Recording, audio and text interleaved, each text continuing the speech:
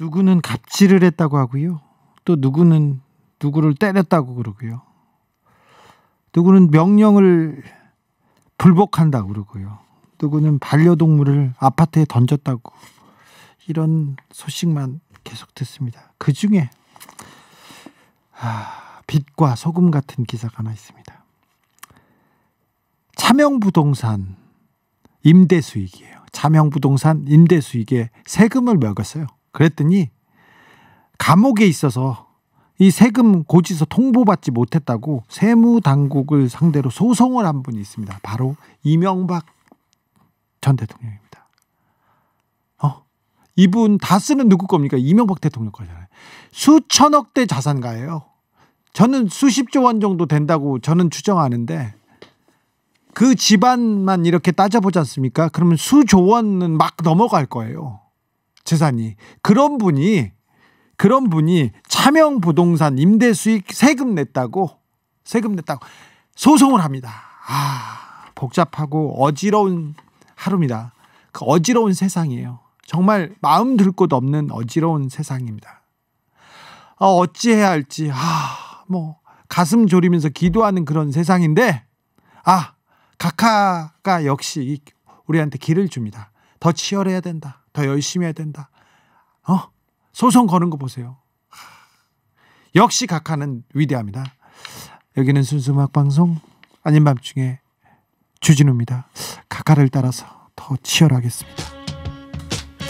선생님입니다. 그런데 학생 눈치를 봐요. 잘못한 건 전혀 없는데 여기만 오면 눈치를 보시는 분입니다. 이종우 박사님 오셨습니다. 네, 안녕하세요. 상지대학교 이종우 교수입니다. 네. 이종우 박사님이 더 눈치 보시는 분이에요. 이분한테도 또 눈치를 보네요. 이 박사를 긴장하게 하는 박지 아나운서 오셨습니다. 네, 안녕하세요. 박지입니다. 네. 잘 계셨어요? 네. 그동안 잘 있었어요? 네, 그럼요. 네. 저한테도 좀 물어보시죠. 별로 관심 없어요. 그냥 대답하시면 되죠. 예, 저도 잘 지냈습니다. 예. 관심 없어요. 예. 네, 네. 뭐 얘기하지 않으셔도 돼요. 지난주에 못 왔어요. 네, 지난주에 못 와서 네. 너무 슬펐어요. 박진희 아나운서는 오려고 했는데 네. 이 박사님이 시간이 없어서 못온 거다. 아, 예. 뭐다 제 잘못이죠. 그렇죠. 예. 모든 게 잘못입니다, 예. 박사님. 제 불찰입니다. 네. 네. 이 자리를 빌어 정중히 사과드리겠습니다. 느티나무님이 박지아나는 아밤주 스튜디오에서 보니까 진짜 미모가 더 빛나네요. 계속 오라는 뜻입니다. 아유, 우리 청취자분들은 계속 지금 어 지금 얘기하고 있고요. 아 또 이종우 박사님 오늘 왜 이렇게 꾸미고 오셨어요? 저 원래 이러고 다니는데요. 박진희 아나운서 때문인가요? 이렇게 얘기하시는데. 아, 저는 누울 자리를 보고 다리를 뻗는 스타일이라서. 그래서 맨날 예. 그렇게 누워 계세요? 예, 항상 감 떨어질 때까지 기다리는 네, 스타일이라서요. 오늘 밖에서 예. 누워 계시더라고요. 그러니까요. 왜 벌써부터 그러, 그러시면. 네. 두분 2주 동안 즐거웠던 일 좀 알려주세요. 재미있었던 일. 어... 뭐 하고 지내면 재밌어요? 음, 저는 그냥 방송 안 하는 날은 음. 집에 누워만 있어서 아, 왜이 박사님 따라서 또 누, 눕고 그러세요? 아, 모르겠어요. 피곤하죠. 네, 너무 피곤해요. 어, 이상하게 20, 30대 때는 굉장히 피곤해요. 에너지도 많고 그런데 네. 너무 피곤해요. 그런데 40대 이렇게 되지 않습니까? 네. 그러면 너무너무 피곤해요. 아, 더, 더 피곤해. 더 피곤해요. 네. 근데 잠이 없어져요. 어. 그래서 아침에 조금 일찍 일어나기 시작하는데 박사님 그렇잖아요. 그런가요? 아, 예, 그래? 그렇습니다. 아직 저는 전 아직 아직 젊습니다. 예. 아침에 일찍 일어나게 되면 막 슬퍼요. 어. 저는 늦게 자고 늦게 일어나는 사람이거든요. 네. 그래서 잠이 올 때까지 뭔가를 해요. 음. 잠이 올 때까지 뭘 보거나 뭘 하는데 그래서 눈 이렇게 머리가 한번 떨어지면 그때 이제 불을 끄고 자는데 요새는요, 음, 늦게 자든 일찍 자든 일찍 일어나요. 그럼 막 슬퍼요. 비슷한 시간에 항상 일어나게 되는 그런 거죠. 아, 좀 일찍 일어나요. 네. 그러니까 주말에도 할 일, 오늘은 좀 잤으면 하는데도 일찍 일어나서 막 슬퍼요. 마음이 아프네요, 저도. 네. 네. 슬픈 일이 많아져요. 예. 네. 어, 그래도 저는 음. 잠을 많이 자면 하루에 뭐 쉬는 날은 15시간, 16시간도 잘 수 있다는 거 보면 아직은 젊다는 걸. 아, 그럼요. 네. 네. 박사님? 예. 뭐 저 같은 경우에 즐거운 일 궁금한 게 있으면은 뭔가 제가 그 궁금증을 풀어줄 때 뭐 예를 들어서 음. 그 뭐 박지희 아나운서께서 뭐 저뭐 뭐 아, 궁금증을 이, 풀어줄 때 그때 예. 즐겁다고요? 어떤 일이 어떻게 될까요? 뭐 됐어요. 네. 오늘 어, 떤 얘기 준비하셨어요? 예, 오늘은 어 며칠 전이 이제 7월 4일이었잖아요. 네. 예. 그래서 이제 7사 남북 공동 성명에 대한 이야기를 박사님 7월 8일이에요, 지금. 예. 근데 7사 남북 공동 성명을 인지하면 제... 어떻게 해요? 오늘 7월 9일입니다. 7월 9일이네. 예. 박사님, 어떻게 7월 8일까지도 7월 4일 얘기를 하면 괜찮아요. 원래 공소시효가 그때까지는 괜찮습니다. 근데 7월 9일부터는 7사 남북 공동성명 왜 얘기해야 되는지. 어, 왜냐하면요. 이 아닌 밤 중에 주진우에서는 한 4월 초까지 3.1운동 얘기를 하잖아요. 그렇게는 그렇죠. 예, 예, 예. 그런 경험이 있었기 때문에. 박사님, 요거 예. 좀 괜찮았어. 예. 논리적이야. 예. 그리고 뭐 이제 그 칠사 남북 공동 성명이 굉장히 좀 중요한 이슈기도 하고 또 최근에 그 북한 대북 통들이 전부 바뀌었잖아요. 네. 예. 그런 일련의 정치적인 맥락들을 보면서 통일에 대해서 한번 다시 생각해 볼 수 있는 계기를 가지는 게 어떤가? 박지희 그, 아나운서 네. 꼭 들어야 될 것 같아, 저 얘기. 네. 그냥 그 박 아나운서 자, 자는 얘기, 즐거운 얘기 그런 얘기 듣자고요. 훨씬 더 재밌지 않을까요? 솔직히 네. 박 아나운서 일상이 궁금하긴 하죠. 예. 그거는 개인적인 사심은 조금 있다. 아니 대기실에서 얘기하시고. 어. 아 근데 오늘 정말 많이 준비를 하시더라고요. 대기실을 아, 보니까. 준비는 많이 해. 근데 네. 아까 말했잖아. 4월 달에 3일 운동 얘기를 준비하면 우리 정치자들이 어쩌라고. 그리고 이제 4월 초부터는 4.3 하시고. 그렇죠. 그렇죠. 예. 4월 중순부터 어린이날까지 4.3 항장하고요. 그렇죠. 네. 현충일까지 어린이날 얘기하고 저희는 네. 그럽니다. 5월 되죠. 5.18. 자, 예. 한 템포 늦은 방송. 한 템포 늦은 아닌 밤중에 현대사입니다. 자, 박사님, 7사 남북 공동성명에 대해서 강의해 주신다고요? 네. 해 주세요? 예, 알겠습니다. 꼭 해야 되겠어요? 아, 박원순 시장님 빨리 돌아오셨으면 아니, 얼른 해줘. 예. 박 시장님한테는 내가 마음으로 화살 기도를 지금 쏘고 있을 예. 테니까. 예. 자, 음. 아닌 밤중에 현대사 시작하겠습니다. 예. 박재희 아나운서는 북한에 대해서 어떻게 생각하세요? 노래 듣자. 안 되겠다. 네. 아, 저 북한은 사실 어릴 때는 이제 뭐 좀 무서운 존재다, 무서운 사람들이다. 예. 왜냐하면 이제 저는 그 얘기가 아직도 기억이 나는 게 어, 북한군한테 저는 공산당이 싫어요라고 말했다가 이제 입이 이, 찢어져서 죽었다. 그러니까 그 얘기를 어릴 때부터 들었 어렸을 때 저 들었을 때 선생님한테 네. 아니 북한 공산당이 내려왔는데. 음. 나는 공산당이 싫어요 얘기하면 입을 찢어 죽이는데 음. 그러면 앞에서는 공산당이 좋다고 하고 뒤에서 하면 안 되겠냐고 얘기했다가 음. 꿀밤 맞았죠. 아이고. 주 기자께서는 북한에 대해서 어떻게 생각하세요? 북한에 대해서 어떻게 생각하다니요? 그러니까 북한에 대해서 물리쳐야 될 존재? 음, 주적 주적. 아니 북한이 북한과 우리가 이렇게 그 분단된 상황인 상황인데 형제잖아요. 음. 형제잖아요. 그리고 우리 그 남한의 남 우리 한 대한민국에 비해서 국력도 정치력도 국방력도 엄청 더 떨어지는 그런 존재예요. 그래서 저는 힘이 없는 그냥 음. 자존심만 남은 그냥 힘 없는 그 저기 동생 이렇게 생각이 되, 요 음. 어, 저는 예 네. 말씀하시죠. 아니 이 방송 북한에서 들을 수 있지 않나요? 아유 뭐 북한에 있는 지, 동지들 괜찮아. 아뭐 지금 뭐 유튜브나 그런 데서 조금 우파라고 자처하는 사람들이 뭐 수백만의 간첩들이 여기 있다고 얘기하니까. 그렇죠. 근데 옛날에 예. 이 정도 얘기하지 않습니까? 네. 그러면 끌려가서 고문받고 그랬어요. 간첩되는 음. 거죠. 예. 오. 그런데 저는 이번에 7사 남북 공동성명 준비를 하면서 그 생각이 들었어요. 1950년대 한국 전쟁이 끝난 직후나 60년대에 북한에 대해서 우리 아버지나 뭐 삼촌 세대나 뭐 그런 분들이 어떻게 생각했을까? 음, 그땐 정말 머리에 막 뿔 달리고 막 이런 존재로 생각을 했던 거 아닌가요? 더더군다나 북에서 있다가 이상 가족이 됐거나 아니면은 실향민이 됐던 분들은 음. 북한에 대한 적개심이 얼마만큼 있었을까 저는 상상할 수도 없을 것 같아요. 그리고 또 반면에 북한에 대해서 얼마 전까지 왔다 갔다 하던 곳이 갑자기 가지도 못하게 됐네. 이거 어쩌지 우리랑 말통하는 사람들인데 음. 빨리 통일해야 되지 않을까? 라고 생각하는 사람들도 있었을 것 같아요. 어, 많죠. 예. 그렇죠. 우리 동포였잖아요.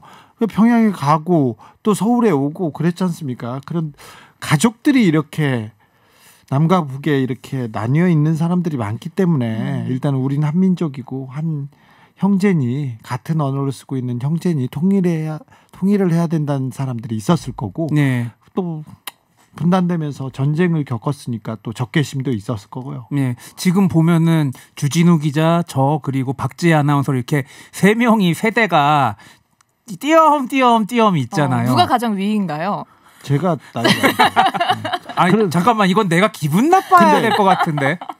박사님, 예. 이런 식의 수업 방식 예. 별로 안 좋은데. 아, 예, 좀 네. 고루하죠. 네. 예, 그래서 어, 그 전 세대는 과연 북한에 대해서 어떻게 생각했을까 상상하면서 내가 눈치를 예. 너무 주는 것 같아요. 네, 그렇죠. 그렇죠. 그 와중에도 열심히 잘하고 아, 그럼요. 아, 아무래도 그럼요, 제가 그냥 밀고 나가야 될 것 같아요. 교수님 계속해 주십시오. 예. 보통 강의 보면은 꼭 그렇게 딴죽 거는 사람들이 있죠. 예. 음. 그래서 계속 하면은 네. 그래서 불렀으면 예. 저는 나가도 되나요? C 학점 받으시는 거죠? 아니, 네, 그러니까. 예. 그래서 이제 칠사남북 공동 성명 얘기를 하려고 그러는데 예? 일단 이때 상황을 좀 얘기를 해야 될 것 같아요. 음. 어, 제2차 세계 대전 직후 굉장히 냉전이 심화되던 상황에서 갑자기 화해를 하기 시작합니다. 네. 예. 그래서 일명 대탕트라고 그러죠. 혹시 박지 아나운서 불어 배우셨나요? 어 아니요 그건 아닌데 예. 이제 대탕트의 뜻은 알아요. 굉장히 예. 완화되는. 예, 그렇죠. 예. 거죠? 프랑스어로 원래 완화, 휴식 음. 뭐 이런 음. 뜻이라고 하는데 이때 헤빙 무드라고 그러죠. 이때를 이때를 일컬어서 대탕트 시대라고 얘기를 합니다. 그리고 여기에 가장 결정적인 계기가 됐던 거는 이제 미국이 베트남전에서 패전 패배를 했죠. 네. 음. 그리고 나서 이제 닉슨이 선언을 합니다. 자, 자본주의 진영에서 미국의 힘을 빌어가지고 공산화를 막으려고 생각하지 말고 니들이 공산주의를 스스로 막아라. 예. 음. 라고 선언하기 시작합니다. 그러면 어떻게 되겠습니까? 미국의 힘에 빌어가지고 자기 체제를 지키던 나라들이 갑자기 자기 스스로 뭔가를 지키려고 방안을 마련해야 됐던 시기였죠. 네. 음. 예. 그러다 보니까 이어서 중국과 소련이 한판 붙습니다. 국경 분쟁을 비롯해서 여러 가지 문제 때문에 소련과 중국이 한판 싸우는데 그러면서 미국과 중국이 화해를 하죠. 가까워지죠. 예. 어. 적의 적은 나의 친구잖아요. 네. 예. 그러다 보니까 중국 입장에선 소련이 적이니까 소련과 미국이 안 친해. 그러면은 나는 미국이랑 친해져야겠네? 이렇게 하면서 같이 탁구도 치고 뭐 하면서 갑자기 친해집니다. 이런 상황에서 음, 남한 입장에서는 골치 아픈 상황이 생기는 거죠. 중국이 미국하고 가까워져요. 음. 그러면 어? 북한은 상황이 예, 어떻게 하지? 북한에서는 자, 딱히 예. 달갑진 않았을 것 같아요. 북한에서도 굉장히 달갑지 않아 했죠. 그리고 네. 북한 입장에서는 고민스러웠던 게 중국과 소련 모두 친한데 음. 우리는 어디 편에 붙어야 될지를 말고 고민을 하기 어... 시작했던 시기였죠. 그리고 남한 입장에서는 어떻겠습니까? 어, 한 10년 전까지만 해도 우리는 미국의 힘을 빌어서 중국하고 한 치의 땅이라도 더 확보하기 위해서 우당탕탕 싸우던 시기였는데 서로 싸우던 사람들이 갑자기 친해졌어요. 서로 음. 싸우던 형 같은 존재들이 동네 깡패 같은 존재들이 갑자기 친해졌어요. 어, 그리고 경제적인 도움도 갑자기 안 주겠다 그러고. 예, 그러니까 우리는 어쩌지? 음. 이런 상황이었던 거죠. 1095님이 이종우 박사님 쪽도 조명 좀 환하게 해주세요. 싫어요. 아 이게 왜 그러냐면요. 박지희 아나운서가 워낙에 이 어두운 부스를 밝게 해주기 있기 때문에 얼굴이 빛난대요. 예, 워낙에 하이라이트가 바, 빛나면 그 가장 가까운 곳은 dark side가 될 수밖에 없습니다. 네. 어두워질 수밖에 없어요. 원래 지금 조명이 똑같이 지금 비치고 있는데 원래 예, 저런 거예요. 조도는 똑같습니다. 아, 네, 예. 제가 오늘 또 흰 자켓을 입고 와가지고 그런 걸로 네. 예, 양해해 그래서 주십시오. 워낙 아저 눈부셔서 지금 강의를 못 하겠어요. 음. 그렇게 예. 좋아요? 매일 나오세요 매일. 아 고민했었어요. 아 그래요? 아, 더룸 더룸 할 때 한 번 가서 이렇게 구경할까 생각은 아, 했었습니다. 더룸에도 한번 나와주세요. 주 기자님도 예전에 더룸에 한번 나오셨었는데. 아마 PD가 네. 만날 겁니다. 예. 어제 계속 얘기해 주시죠. 예, 알겠습니다. 그런 상황에서 미국과 중국이 친해지다 보니까 원래 중화민국 지금의 대만이 유엔 안보리 상임이사국이었다가 네. 바뀌죠? 야 너네 내려가. 그리고 음. 이제 중화인민공화국 이제 지금의 중국이 어, 유엔 상임 이사국으로까지 진출을 하게 됩니다. 그래서 이 과정에서 남한과 북한도 이제 화해를 해야겠다라는 음. 생각에서 서로가 밀사를 파견하기 시작합니다. 네. 예. 어. 그래서 예. 음, 근데 그게 사실 정말 진심에서 우러나온 남북 공동 성명이라고 볼 수 있을지가 아. 직도좀 논란이 있는 부분. 굉장히 그렇죠? 논란이 많죠. 네. 1928님, 이 박사님 그 7사 남북 공동 성명 사기 아니었나요? 아, 얘기하는데 이 얘기는 노래 듣고 노래 듣고 와서 바로 이어가겠습니다. 에버리 브라더스입니다. All I have to do is dream. 7사 남북 공동 성명 그 서막이 오릅니다. 예. 그 서막이 오르는데 그 서막이 오르기 위해서 미리 준비를 해야 될 거 아닙니까? 그렇죠. 예. 그러려면은 밀사가 가야지. 밀사가 가야 됩니다. 그래서 처음에는 어 이우락 중앙정보부장이 이제 1972년 5월 2일부터 5일 사이에 평양의 밀사로 찾아갑니다. 근데 중정부장입니다. 지금 예. 국정원장이죠. 음. 예. 요번에 박지원 씨가 박지원 전 교수가 네. 예. 국정원장이 됐잖아요. 네. 네. 그런 걸 생각해 보면은 국정원장이라는 자리가 굉장히 좀 의미가 있다는 생각도 들어요. 예. 음. 예. 그래서 이제 이런 것들을 좀 이런 소재를 가지고 온 것도 있는데 여기서 한 가지 여러분들도 많이 아시는 비화가 있지 않습니까? 청산가리 사건. 네. 예. 이게 뭐냐면은 김일성을 만나러 가는데 솔직히 지금 뭐 저 때도 그랬지만 뭐 뿔 달리고 가면은 바로 끌려가서 어떻게 될지 모르고 그런 음. 불안감이 있을 거 아닙니까? 네. 그러다 보니까 이후락이 독약을 가지고 가요. 캡슐에 청산가리를 넣어서 가져가는데 또 이후락 같은 경우엔 더 심했던 게 뭐냐? 그 전에 황태성이라는 사람이 밀사로 파견이 돼서 박정희를 만났는데 황태성은 박정희 형, 대통령 형의 친구였어요. 네. 예. 박상희 씨의 친구였죠. 예. 그리고 그 박상희 씨가 그 유명한 대구 사건에 예. 어, 주동자 중에 한 명으로 대구 사건 와중에 사망을 하잖아요. 네. 그래서 황태성 씨는 박정희 전 대통령이 따르던 사람이어서 좌익 분자였는데 예. 예. 북으로 부, 북으로 갔죠. 예, 그렇죠. 그쪽에서 이렇게 보냈어 밀사로. 네. 그때도 밀사로 보냈는데 그, 음. 그 관계가 좀 있었으니까 또 보냈던 거 그렇죠. 아니죠? 그렇죠. 밀사로 보냈는데 박정희 대통령이 어떻게 했죠? 어, 바로 이제 없애버렸죠. 음. 아 생각을 해보세요. 예를 들어서 제가 박지희 아나운서랑 뭔가 잘해보려고 하면은 박지희 아나운서랑 가까운 사람을 어떻게 얘기를 해가지고 야 좀 얘기 좀 하게 다리 좀 놔줘. 적절찮아. 얘가 적절찮아.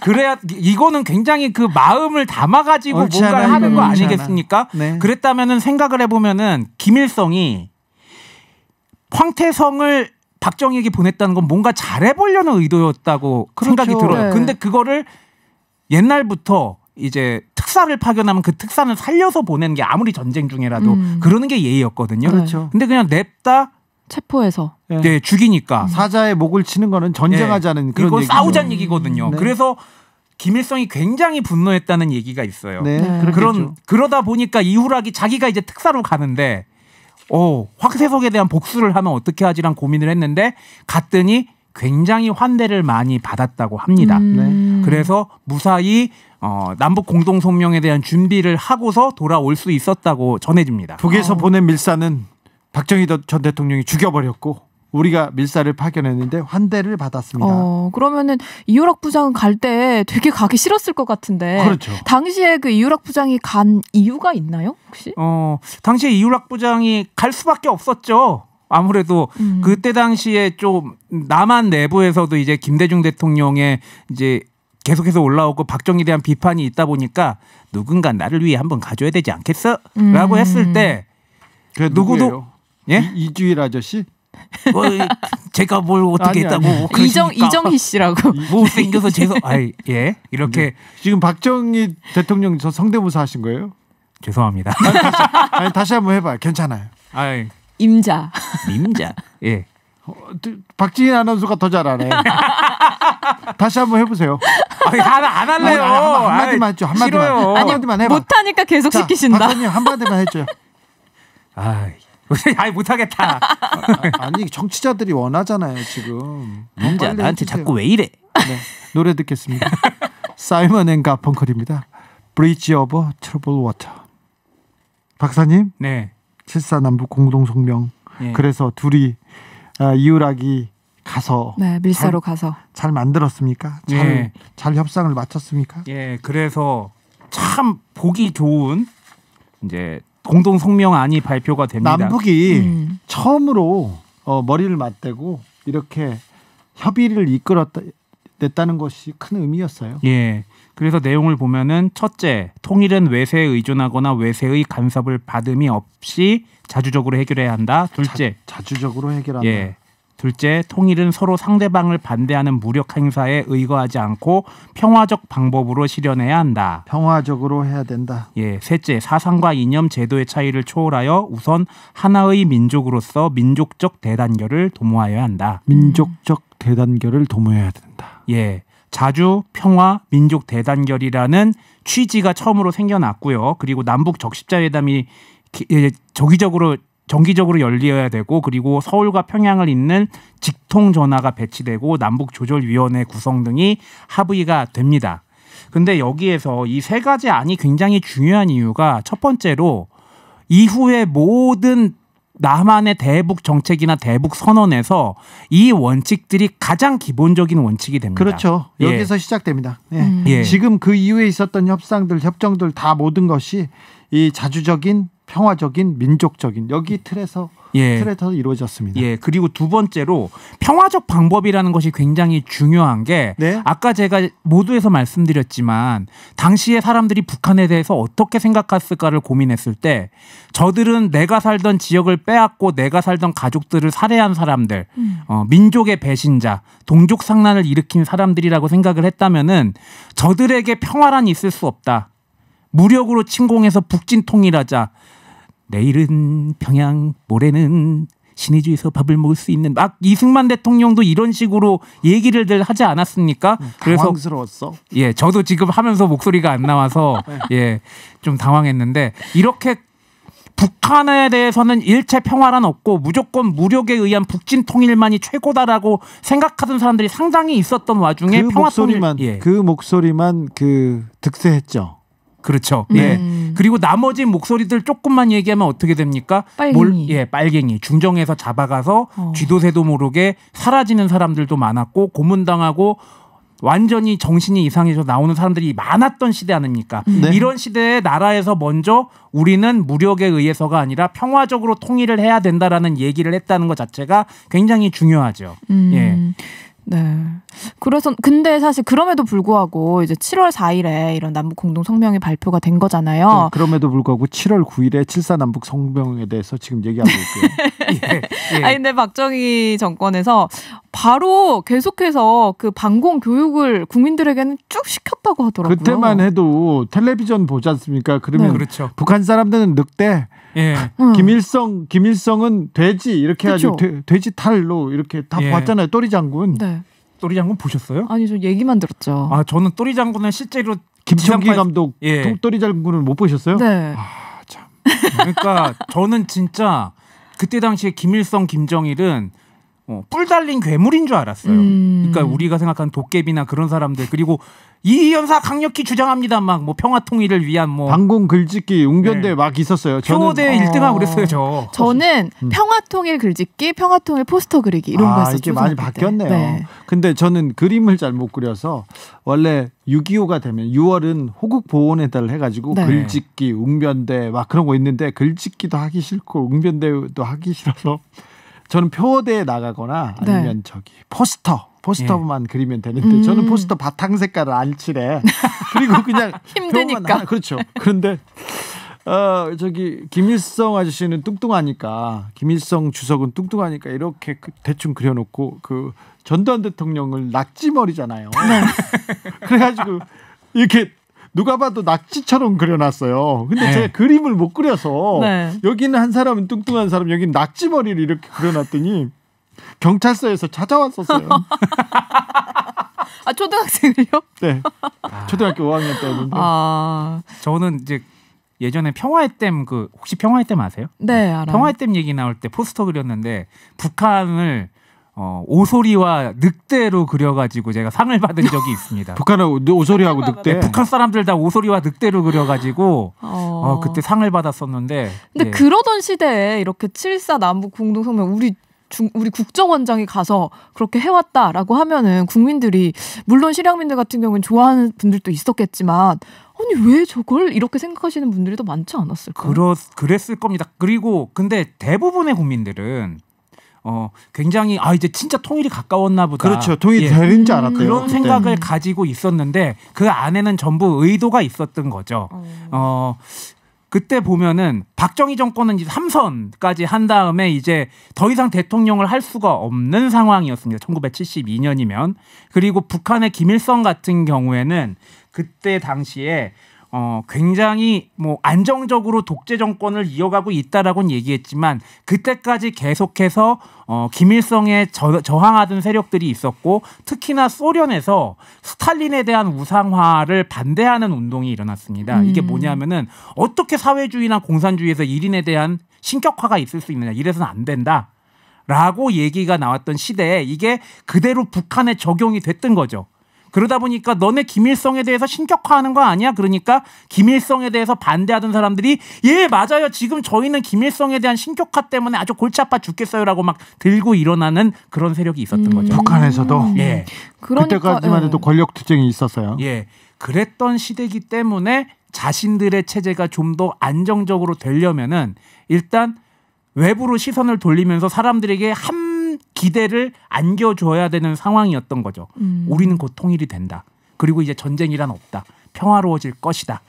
라고 생각하게 만든 다음에 다음에 그 다음에 1972년 10월에 남한에서는 유신헌법이 선포가 됩니다. 네. 아이고 예. 유신헌법은 아 저기 영구 독재 집권을 꿈꾸는 그렇죠. 박정희 정권이 야욕을 보인 거죠. 그때 음. 박정희 대통령이 유명한 얘기했지 않습니까? 내가 다시 대통령 선거에 나가는 일이 없을 것이다. 진짜 대통령 선거에 안 나가서 음. 되게 됐어요. 말하고는 선거는 예. 안 나갔죠. 예. 선거 선거 선거 자체가 거의 없어지다시피 선거를 했는데. 없애버리는 거예요. 예.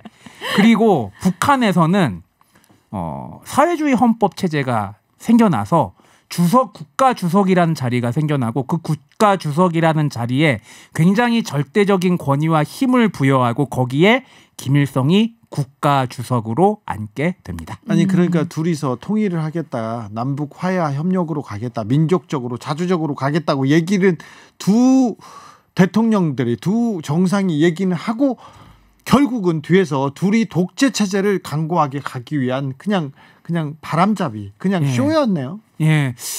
근데 쇼라고 하기에는 제가 볼 때는 내용은 일단 정말 좋아요. 아니 그래도 쇼라도 해야죠. 예. 남북은 화해와 협력으로 가야죠. 예, 근데 지금 주진우 기자께서 굉장히 중요한 말씀하셨다고 저는 생각을 해요.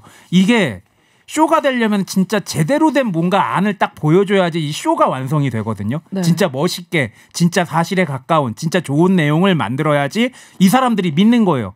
그러니까 결국엔 뭐냐? 민족 대단결, 자주, 평화라는 이 통일의 원칙, 그때 당시에 독재 정권이 이용했던 이 원칙이 실질적으로 우리 통일에서 가장 기본적인 안이라고 많은 사람들이 공감을 했고 공감하고 있는 아니기 때문에 독재 정권도 이거를 이용해서 자기네들의 독재 체제를 강화할 수밖에 없지 않았느냐. 그것을 방증하는 게 아니냐. 이게 얼마나 옳은 방법인지를 저는 그렇게 생각을 합니다. 음, 예. 근데 좀 안타까운 게 지금은 우리가 미국에서 너무 이제 간섭을 하니까 하고 해야 되는 북한에 북한이랑 서로 할 것도 못 하고 있는 상황이잖아요. 그렇죠.